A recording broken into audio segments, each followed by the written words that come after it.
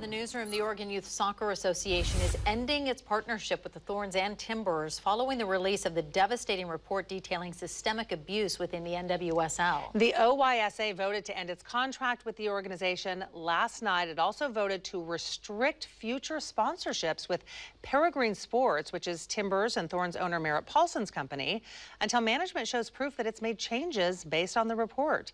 It is just the latest in a series of setbacks for the organization since the report report was released last week.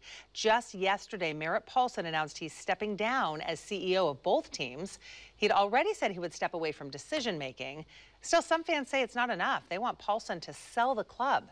And of course, this is all happening ahead of the Thorns' first playoff match. The Rose City Riveters say they know fans may have mixed emotions about going, but they say player support is key right now everyone has their own way of supporting the players. If you feel comfortable coming into the stadium, that's awesome. Be there for the players. There's a lot of ways to do that outside if you don't feel comfortable. The Thorns play in the National Women's Soccer League playoffs semifinal at Providence Park on October 23rd.